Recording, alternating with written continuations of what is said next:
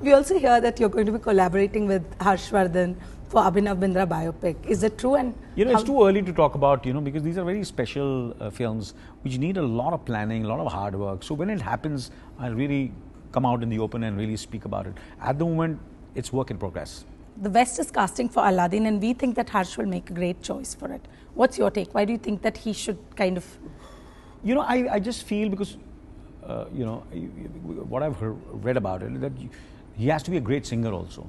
So I, you know, that's the reason they're finding it tough to find someone who can be a great singer and a looker and in his 20s. So I don't know. I don't know. Harsh is not a great singer, according to you. No, he, he, uh, no, no, obviously he's not a trained singer and uh, he'll, you know, he needs time to get trained for that. So, uh, um, But otherwise, the look wise, you would think that he'd make a great. I don't know what the you know what the look is to be honest with you. I, I'm to be honest with you, so I'm not the right person. And if you feel like we that, did. We definitely thought. we didn't know about the singing bit, Ah. but we thought that looks wise, he would be one of those people who'd like tailor made for the role. is it? Yes, Oh, I'm going to tell him that. Yes, you should tell him. Let him me that. let me say, let him fly to Los Angeles immediately. That'll be amazing. Yeah.